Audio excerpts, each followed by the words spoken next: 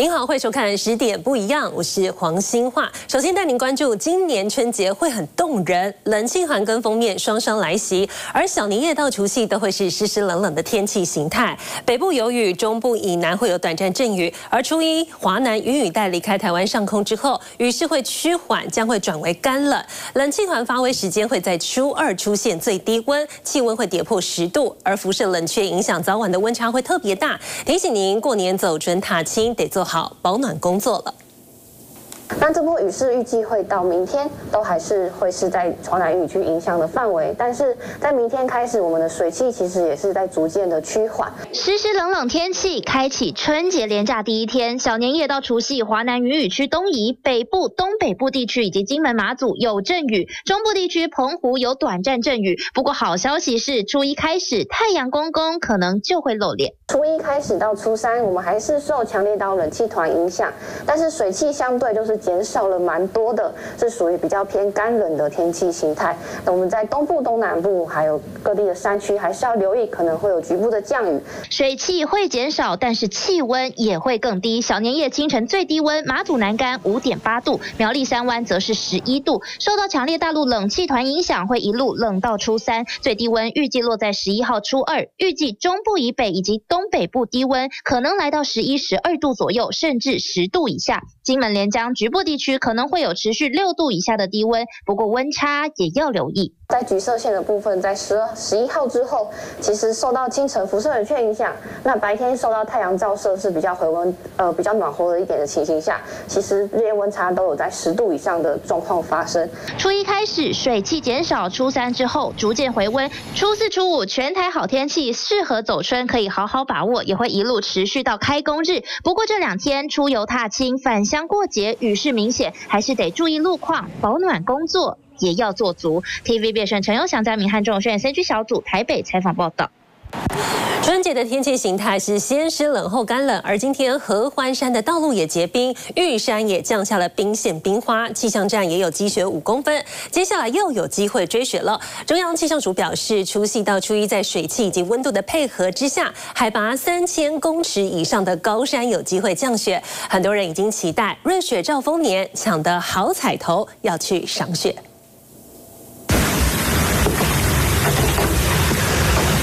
一打开家门皑皑白雪映入眼帘，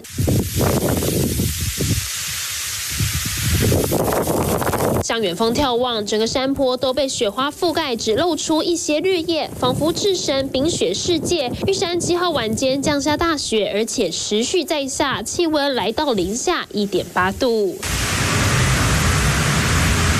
窗户也积上冰花，去到室外，冷风呼呼吹。海拔三千八百多公尺的玉山气象站，就像身处世外桃源。强烈冷气团影响台湾，冷空气持续增强。但预计在昨天的呃深夜之后是有在降雪的情形，那目前是还有持续的情形。那以早上的回报来说的话，玉山气象站的回报部分是积雪已经有五公分厚的现象发生。想要追雪，要把握，也要爬得高一点，因为现在加上华南云雨区东移影响，天气潮湿寒冷。中央气象署就表示，一直到周六初一的时候都有可能降下雪。基本上在十号之前，我们都有可能会因为水汽加上温度的配合，在各地的山区的三千到三千五百公尺以上，都是有可能会有降雪的部分，很适合上山追雪。但气象署也特别提醒，路面可能都会有结冰的现象。民众要开车赏雪，一定要注意行车安全，还有做好保暖。TBS 新闻，肖明正、林日文综合报道。而国际间焦点带您看到以哈的冲突战火未歇，哈马斯的停火计划被纳坦雅胡断然拒绝了。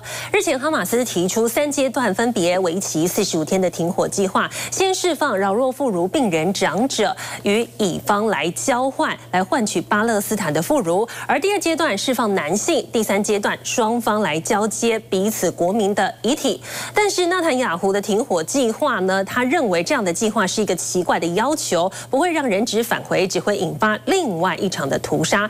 一直坚持，只有完全的胜利才是结束加萨战争与维护和平的唯一解放。会场内，美国国务卿布林肯和巴勒斯坦自治政府总统握手谈天。场外却有一批抗议人潮。布林肯中东行，希望促成以色列哈马斯停火协议，但马上遇到变数。Now Hamas issued its own counter proposal. It doesn't want a pause in fighting. It wants a complete halt. It also wants Israel to release hundreds of Palestinian prisoners. These include many who are serving terms for deadly attacks on Israelis. 哈马斯在谈判前夕拿出自己版本的三阶段停火，每阶段各有四十五天时间。第一阶段释放以色列老弱妇孺人质，交换巴勒斯坦囚犯，并且要求以军离开人口密集区。第二阶段再放男性人质，但以军要全面撤出加萨。第三阶段则是互换死者遗体。כניעה לדרישות ההזויות של החמאס, שמענו עכשיו, לא רק שלא תביא לשחרור החטופים, היא רק תזמין טבח נוסף. היא תזמין אסון כבד למדינת ישראל שאף אחד מאזרחינו לא מוכן לקבל. 纳塔亚胡马上出面回应说，哈马斯的要求太疯狂。 אנחנו בדרך לניצחון מוחלט. הניצחון הוא בהישג יד. זה לא עניין של שנים או עשרות שנים, זה עניין של חודשים. 放话威胁战争继续打，甚至要打到全面战胜才会收手。 It's unclear whether this is a negotiating tactic or if it simply has this maximalist position from which it won't budge. 纳塔亚胡虽然痛批哈马斯妄想，其实并没有明确拒绝提议。 The reason he did not reject it is because the Israelis were quite surprised when they saw the response, because they thought the response will deal with the, with the process, not with the substance. And then they saw a response that dealt a lot with the substance and looked more or less like a, I don't know, a, a Yihya Sinwar's Ramadan gift list. 尤其哈马斯狮子大开口，纳塔亚胡也想秀出强硬态度给自己的内阁成员看。 I think the government is not cohesive. Um, there are members of the government who seem to oppose any any proposal that is on the table, whether one that is proposed by Israel and its allies or one that comes from Hamas. 不管以色列怎么骂，哈马斯还是会派代表到埃及参加协商。 هو يعاني من أزمة داخل حكومته ويعاني من أزمة في أداء جيشه ويعاني من أزمة في شارعه ويحاول أن يعبر خلاف ذلك 其实以色列也证实将派出代表团去开罗。 While there are some clear non-starters in Hamas's response, uh, we do think it creates space for agreement to be reached, and we will work at that relentlessly until we get there. 布林肯暗示停火谈判还有希望，毕竟如果不止战，拜登政府民调只会继续往下探。 Main question mark is whether we're going to see within days Hamas officials and Israeli officials coming to Cairo and engaging in what's called um, proximity talks, meaning both sides sitting in different rooms with Egyptian and Qatari mediators moving between the rooms to start talking about the actual details and not just negotiate about how to negotiate. 因此，开罗协商的焦点并不是全盘接受任何一边的方案，而是选出哪些条件可以采纳。回头看哈马斯提议，以军绝不会答应撤出加萨，但人道援助和人质囚犯交换的确有妥协空间。Because if you look at phase one, it is not all that different from what Israel has agreed to as part of a broad framework proposal with Egypt, Qatar, and the United States. In terms of the types of hostages who would be released, the length of the pause, 45 days versus six weeks, about the same there. The real question is whether or not they can agree to something on phase one here and then move forward and continue negotiating over phases two and three. 而且以色列也有来自国内的压力。 尤其是渐渐开始绝望的人质家属。All the leaders to the world now, I ask them to make the pressure. I ask President Biden to make more pressure on Israel, on the Israel government and the Qatari and Hamas, the Egyptians to continue their effort. 越来越多家属害怕剩下的一百多位人质再也无法活着离开加萨，不断喊话要求纳坦雅胡想办法谈好一份人质停火协议。TVB 新闻综合报道。而动荡的中东地区不仅在加萨走廊，美军的无人机在伊拉克巴格达的街区精准的轰炸行驶中的汽车，而其中一名死者呢是真主党的高级指挥官萨迪。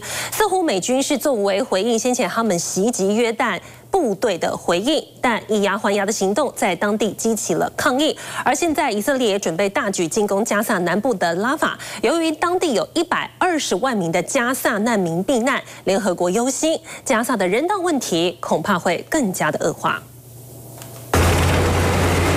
以色列士兵开着军车穿梭在战场上，与哈马斯开战四个月后，加萨走廊北部只剩一具空壳。This drone video from the UN Relief and Works Agency shows dozens of buildings razed to the ground. 以色列攻击重心移到南加萨，越多无情炮弹空投在地面，就是要炸开藏在底下的哈马斯地道。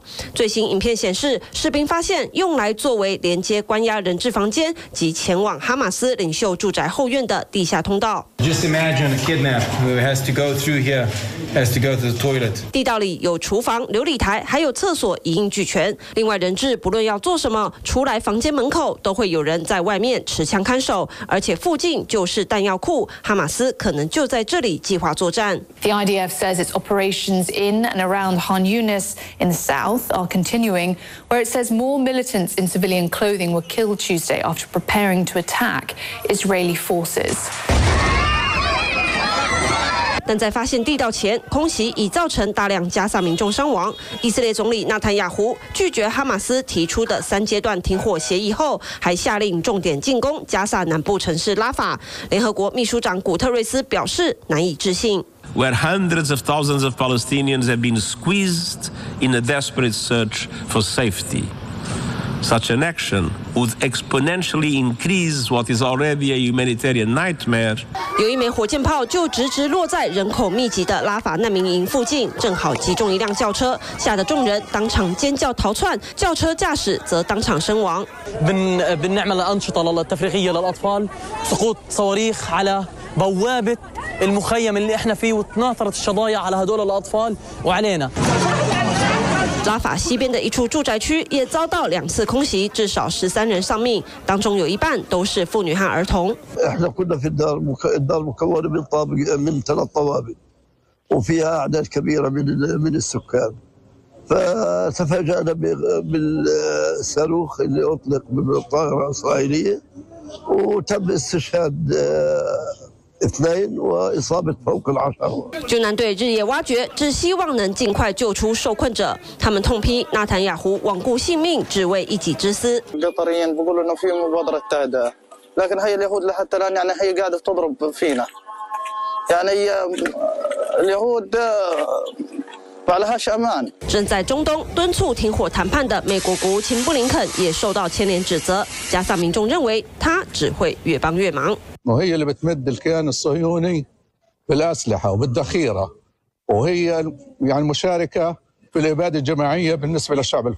流离失所的难民越来越多，国际救援组织的压力也越来越大。作为志工团体资金来源的联合国近东救济工程处，现在又卷入按住哈马斯的争议，被各国切断金源，离二月底关闭的日期越来越近。When we did the calculation, we have found out that the suspension.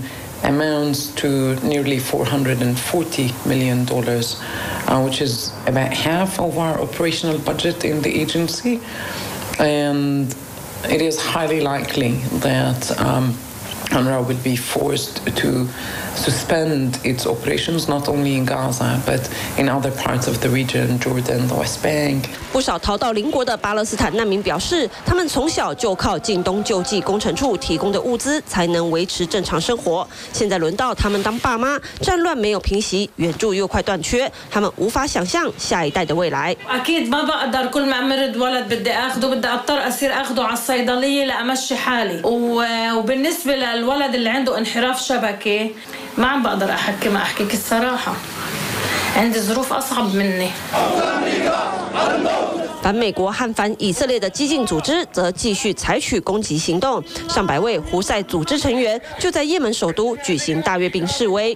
وكلما فعلت فينا أو في فلسطين فكلما أزددتنا زيدتنا قوة وصلابة وعزم 而美国再次采取行动，宣布用精准导引飞弹成功击毙伊拉克武装团体真主党旅负责策划约旦美军基地攻击的指挥官。双方互相打来打去，中东骚乱似乎看不到终点。TVBS 新闻综合报道。菲律宾国防部长下令军方在距离台湾不到两百公里的巴丹群岛增强了军力部署，而大陆外交部的发言人汪文斌也强硬的回应了，敦促菲律宾不要在台湾的问题上玩火，以免祸及自身。同时，他强调台湾问题是不可逾越的红线以及底线。而继续，我们带观众朋友来关注到的是新闻焦点。每逢春节的时候，其实我们过节之余还是要居安思危，因为近八年来几次国内外大型的震灾都发生在年节的前后。我国消防署的特种搜救队无一不语，也在国际的救援任务当中证明了各项能力与世界接轨。而这支中央隶属的救援队正在逐步协助各县市完成能力认证，健全我们的充足救灾量能。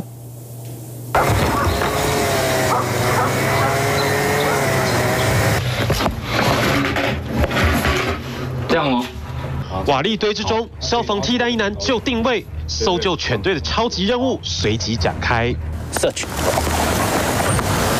在破碎地形中来回搜索，随风飘荡的气味一度把搜救犬贝贝引向远处。不过，领犬员对忠实战友的救难嗅觉有十足把握。发现疑似待救者，有听到我声音吗？有听到我声音，请给我回应。这是消防署特种搜救队组合训练项目之一，因为搜救顾名思义，搜到人才能救。我们主要会针对几个比较有可能有人的标的去做搜索，可能有目击者，他可能在这个区域内最后看到待救者的地方。假设现在发生地震的时间，如果是呃可能晚上睡觉时间，那我们要搜索的主要区域也会集中在宿舍区域。定位出人了之后，你才有下一个步骤。所以说，其实，在第三天之后，几乎就很难去再去定位到人的实际的存活的位置。每一回地动天摇，灾区内的建物倒的倒，塌的塌，当遮风避雨的水泥墙全都成了逃生阻碍。我们会模拟我们的建筑里面是不稳定的，然后有一道墙要去做破坏，里面的状况我们是不清楚的，所以个人的防护装备，然后面罩都请戴好。来到特搜队的户外办公室，通风管路机组就位，受训中的小队蜷缩着身子，进入局限空间内完成结构支撑，计时开始。那在我们的训练里面，我们要求这个比较简易的这种水平支撑，大概在二三十分钟内就要完成。要从断垣残壁救出受困民众，想前进得破坏障碍物，同时还要防止舰体全面崩塌。两个动作反复循环，是救援工作标准节奏。地震灾害救援除了要尽可能用最短的时间完成支撑作业，维护一个安全的结构之外，接下来就是要朝着受困者的方向挺进。但别看眼前的结构阻碍只有十公分厚，但在这种危急的情况要打破真没那么容易。这场人和水泥墙的对抗战，就算环境让人难以正常施力，也要尽可能避免持久战。在我们国内评测的时候。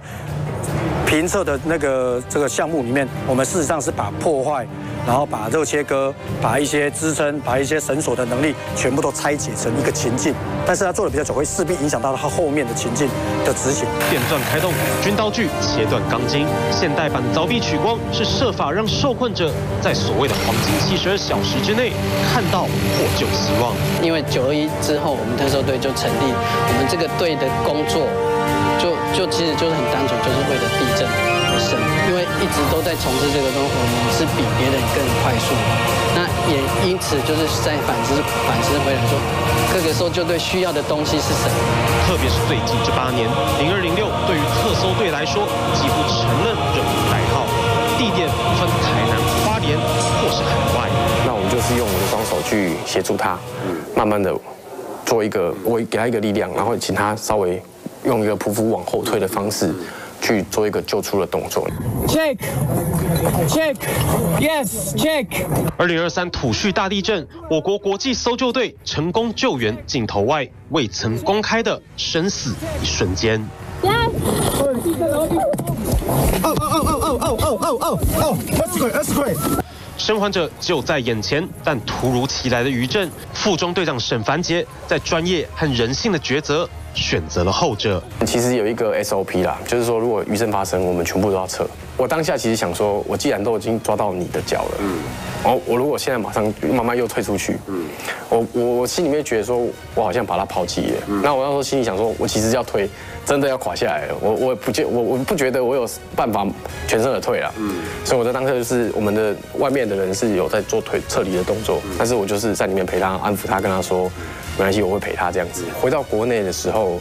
呃，其实现在讲，其实心里面会还是会有一些起伏。居民和现场媒体掌声的背后，是数个月才能走出的心理创伤。他说如果我就没有回来，嗯，然后我的家人怎么办？这样子。那我们反过来讲，如果当时你没救出来，你负面情绪会不会更大？一定会，一定会，这是绝对的。火热的使命感正开枝散叶。警消、义消、外部专家、护理师、医师、兽医师，共计六十人，两卷，好，完毕。实务经历是能力分级认证，近年开始被重视。双北具备了重型搜救资格，而其余六都和花东跟屏东，在一连串评鉴考核后，也得以加入国际任务轮值。美国队还没有到的时候，变成是，呃，我们这一支队伍最有能力啊，然后所以我们就是变成是那一段时间的啊一个区域的一个呃指挥中心，所有的作业的程序，我们所有的训。练的这些内容，其实完完全全跟国际接轨起来，我们才有办法做到。但是由于我们台湾受限这个国际政治情势的关系，哦，当然要前往海外去执行任务哦，比起一般国家来得更困难。扮演好身为地球村的一个分子来讲，台湾的搜救队我们是随时准备好。天灾无法预测，任务更是包山包海，特搜队员实时做准备，就等国搜中心指令一下，哪里有难就往哪里去。新春佳节也不打烊。TVB 的新闻陈如欢、李明辉、叶府新北南投采访报道。十点不一样精选带您关注我们的水电产业已经出现了断层。由于这类型的工作非常的劳累，环境差，日晒雨淋，全身脏乱更是家常便饭。还有台湾的万般皆上品，唯有读书高，升学主义挂帅，所以辛劳的水电工难以成为学生的志向。而现在统测的报考人数逐年的下降，生源不足，还得面临到跟普通大学、科大抢学生，导致产业缺学生也缺工，出现了。断层的危机。一般最常脸盆塞住的地方呢，好，就是在我们的这个地方，好，我们的排拉杆这个地方。老师拿着水管仔细介绍，再一步步拆解，教你怎么处理堵塞的配波，接着让学员实做。从这边再拉，哎，对，就从这边，就从这边拉出来，对，没错。练习时有问题，立刻手把手指点。手上把不太起来，我们可以善用老虎钳夹住我们的这个线头，然后快速的怎么样旋转，旋转，好，这样子旋转。手势工具搭配小技巧，让你学会开关和插座更换安装。这是居家修缮班，从电钻怎么用，到水管、门锁、马桶、灯具、油漆等等三十种修缮技能，由水电师傅亲自授课，用一个下午教会你，吸引不少人报名。小孩子经常有时候会把脸盆弄的就是会积水，然后积水我们都会买通热来通嘛。那上一次就是买通热来通，但是。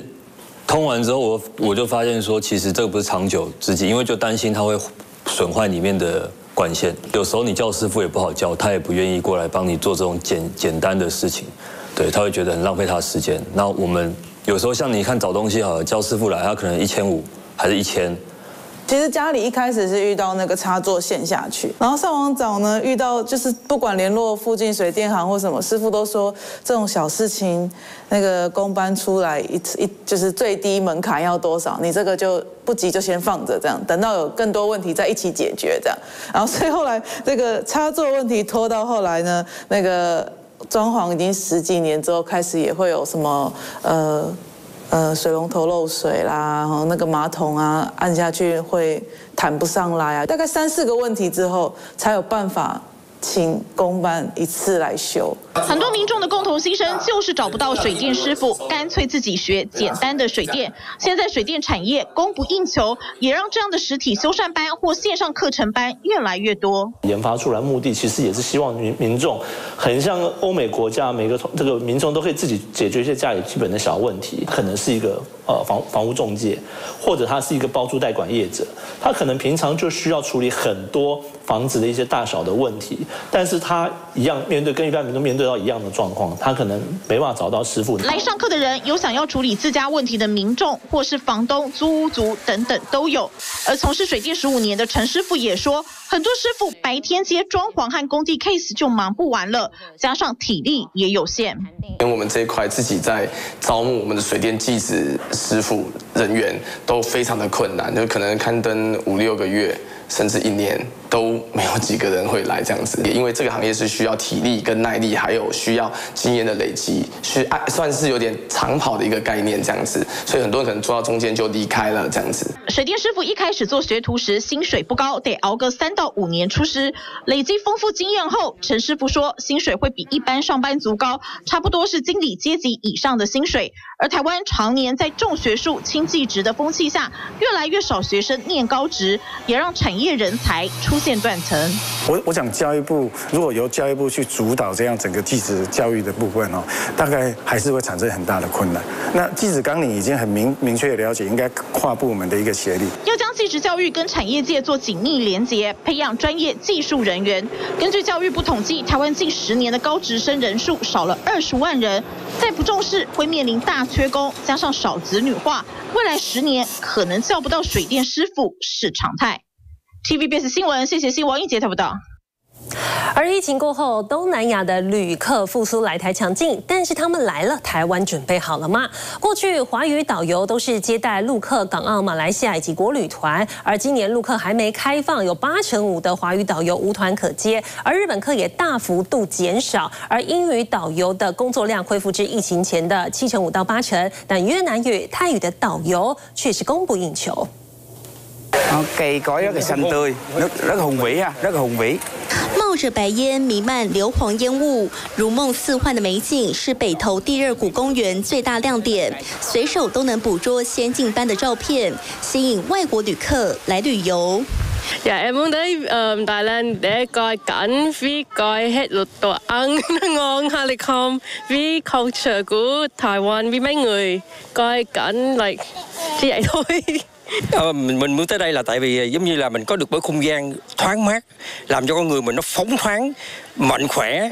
Sau một những cái coi những lúc mình làm ăn làm việc nhọc nhặt mình được ờ, hưởng thụ một cái à, không khí thiên nhiên thật là tuyệt vời rồi một hai ba 拥有多年带团经验的粤语导游陈黄明就表示，以后东南亚旅客复苏强劲，现在几乎周周都带团。观光署统计，越南游客今年一到十月来台人次约三十二点二万人，仅次港澳、日本和韩国，让粤语导游变得超强手。我是个人来说是团多的时候，就旺季的时候大概一个月是满的，大概五团，有时有时候一马上送马上接啊。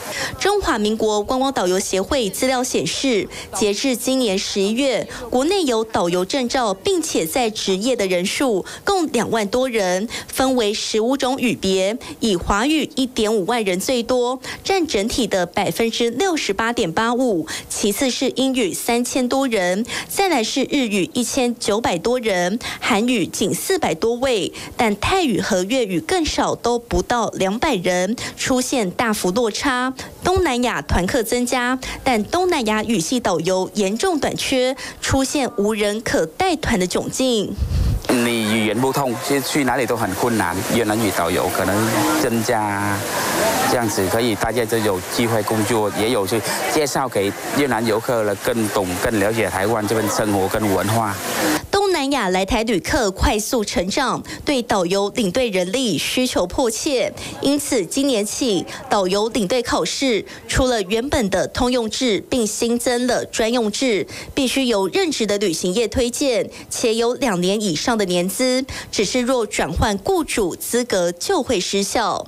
它是呃由旅行社自己推荐的，那他这些从业人员很了解他整个旅游的一个实务的操作，而且他们也会推荐具有外语的能力的这些呃人员来参加专用专用制的一个呃评量，所以比较符合业者他们的一个需求。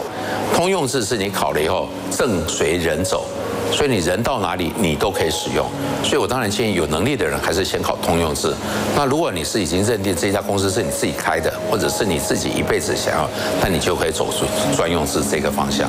这项新政策鼓励新住民投入导游行列，但许万斌指出，我国现在正面临各语言导游分配不均的困境，陆客尚未开放，有八成五的华语导游无团可接，人力过剩，但稀少语系的导导游则供不应求，不同语别的导游呈现两样情。尤其是这半年来，大概因为各国来台人数不一，好，所以最多的其实是呃华语，好，但是华语是香港、澳门，但香港、澳门来台湾他们是不需要导游，因为中中文就可以通了嘛。那来最多的是韩国、越南、泰国。那偏偏韩国人以前来是一团都三四十个人，现在一团来是八到十二个人，所以以前一团导游可能要拆成三个导游用。疫后观光业迎来复苏，但如今却出现有团无导游可接的窘境。接下来若有更多的东南亚旅客，是否能承接庞大的量能，仍备受考验。TVBS 新闻肖一强、刘彦轩台北采访报道。而游轮的旅游也要追求永续，不少业者不用塑胶制品，是透过海水淡化系统，把海水转化成饮用水或是可以使用的用水，达到水资源的循环。而游轮的驱动力也采用电力推进，希望可以减少对环境的伤害。游轮渐渐驶离乌苏怀亚港口，准备航向地球最南的地区南极。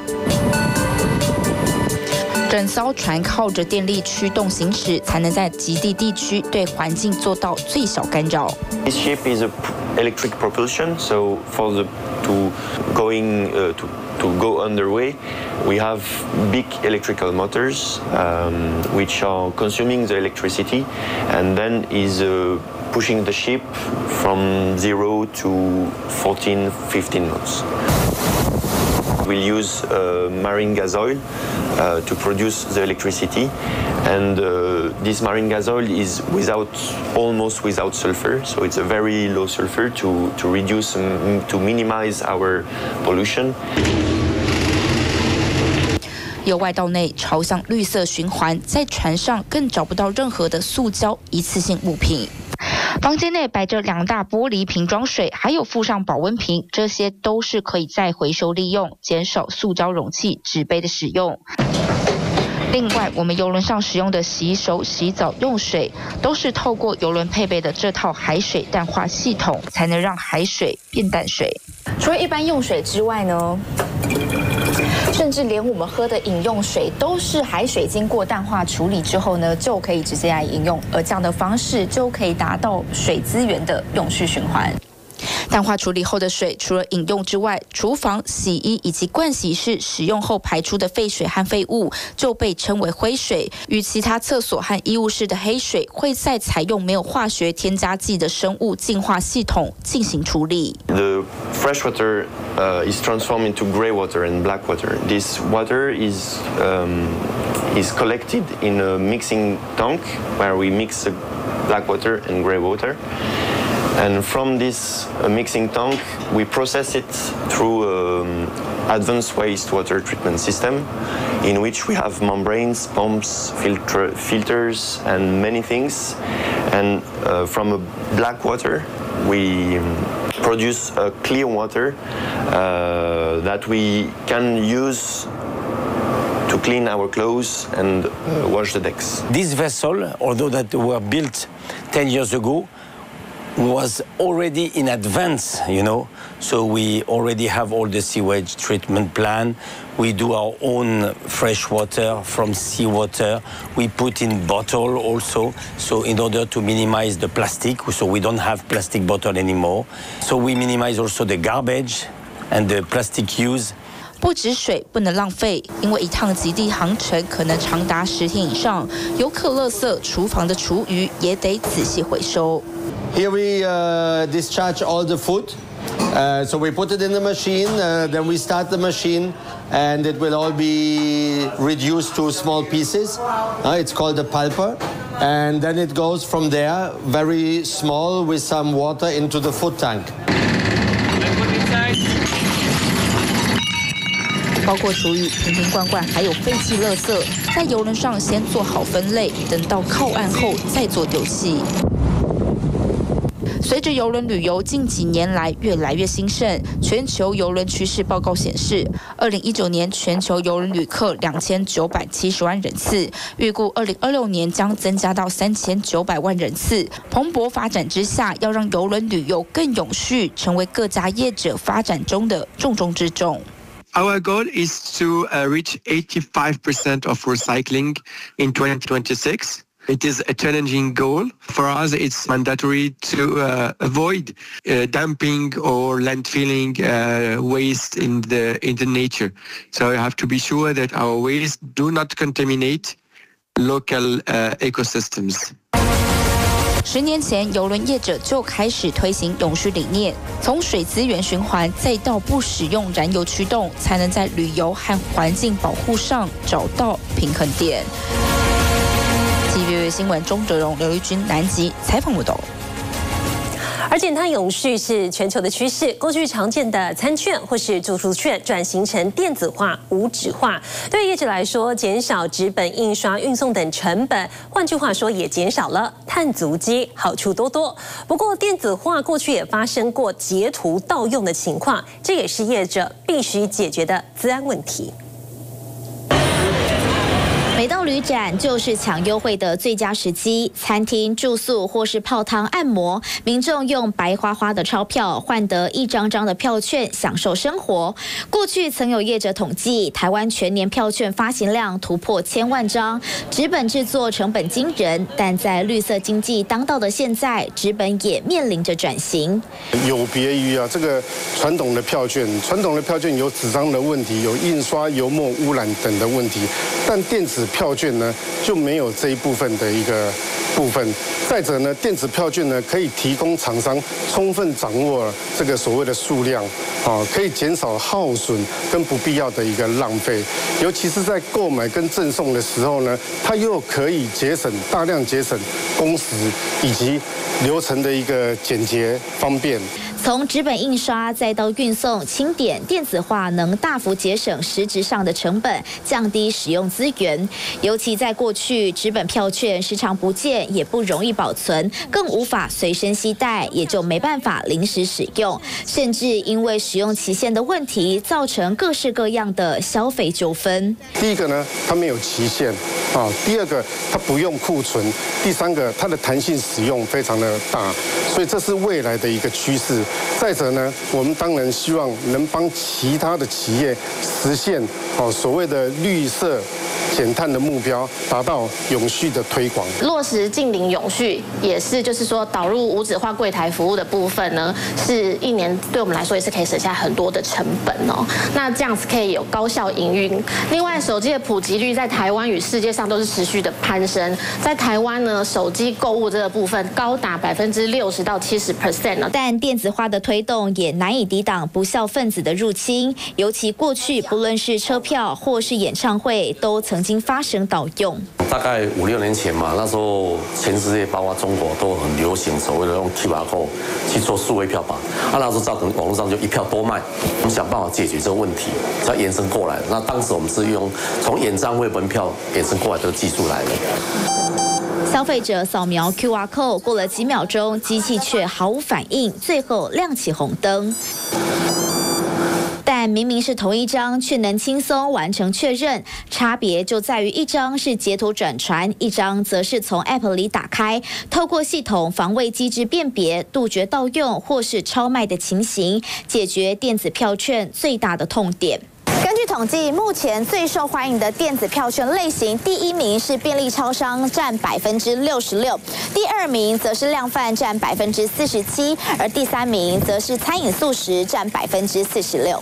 在台湾，因为手机普及，推升周边服务。根据知策会二零二零年下半年行动支付消费者调查可以看到，民众使用行动支付的比例达到百分之六十点三，首度超越实体电子票证。因为现在的人就是都是手机不离身，然后所以你就是用手机，然后订这个票，它就是存在手机里，你就是带着手机出门就可以了。而有超过七成消费者表示，购买电子票券时最在乎优惠和折扣额度。在未来电子票券当道的时代，优化 App 和防卫恐怕已经是基本功。如何透过服务或是优惠提升消费者的粘着度，是下一步抢攻的目标。TVB 新闻谢谢西谢单词台报道。现在不少人因为环保或动物保护意识选择吃素，也有人想要控制体重，有机会就吃素，成为弹性素食者。也有更多人吃素目的是为了健康。张先生经营多年素食店，每天一开店，他亲自烹煮，努力推动健康饮食，多摄取原形食物，让身体无负担。越接近天然的食物，相对对自己的健康，我觉得相对是越好。就大家就是现在就是健康意识开，就是愿意多吃一些蔬菜，会会会比较多。对于身体的效应，尤其对心脏方面的影响的话，那在过去的这个研究报告呢，我们可以发现到说，呃，许多的文献统计完之后，都会觉得，呃，会建议大家是以素食者他的这个身体效应会比杂食者来得好。那我们分析一下他的饮食的习惯，其实不难发现说，在素食者的部分，他们平常所摄取的蔬菜水果的比例会比较高。那蔬菜水果里面含有很多丰富的维生素，还有一些纤维素，其实对人体的呃血糖、血脂的控控制都有一定的效应在。医师表示，杂食者可能会摄取到加工食品，像是肉类饱和脂肪酸，因此相对应的会引发血脂过高、血糖过高的情形，反而对心脏是一个很大的负担。所以相较应之下呢，啊，这个对于素食者，他对于这个心脏的这个呃保护效果是来的比较明显的。那当然在呃我们在素食者的饮食当中，也会担心说他的营养素缺乏的问题。但是因为我们现在对于素食者的饮食，它其实有非常多替代性的呃优良的一些蛋白质。纯素食和植物性饮食可减轻体重，并改善胆固醇、血压与葡萄糖代谢。而纯素饮食富含蔬菜、水果、豆类、全谷物和坚果，纤维、维生素、矿物质及植物营养素的含量也比较高。以植物为基底的饮食，可以透过几个机制来降低心血管死亡率，像是素食能促进有益菌丛的生长，进而减少肠道发炎，并改善必需营养素的吸收。另外，以肉类为主的饮食会释放促发炎细胞因子，诱发内皮功能障碍，加速动脉粥状硬化。与肉类饮食相比，素食引起的全身性发炎反应要少得多，进而降低斑块形成和冠状动脉疾病的风险。史丹佛大学研究指出，针对基因相同的双胞胎去做纯素饮食，跟对照组有吃到肉类的杂食饮食做比较，发现有吃纯素饮食者，经过几个礼拜后，血脂肪，也就是坏胆固醇与体重。会比较低。他们认为纯素饮食对心血管疾病可能是会有帮助的，但是我要提醒大家，事实上现实生活中很多素食的饮食，包含其实很多高热量跟精致的淀粉，其实不并不见得是健康的。研究的结果可以作为我们的参考，也就是健康的纯素饮食确实可以减少心血管疾病。素食能够改善血压、糖脂代谢和脂质控制，进而降低高血压、糖尿病和高血脂。等危险因子的严重程度，减少缺血性心脏病的死亡风险。但这并不代表我们需要完全排除所有肉类或乳制品，因为研究指出，只要适度的减少动物性食品的摄入，并增加植物性食品的比例，就可以促进心血管健康。营养师廖怡清博士提醒，现实生活中选择健康饮食的时候，要避免高热量和精致淀粉与饱和脂肪酸的摄取，才能在饮食中减少心血管疾病风险。TVBS 新闻陈如环、蒋志伟台北采访报道。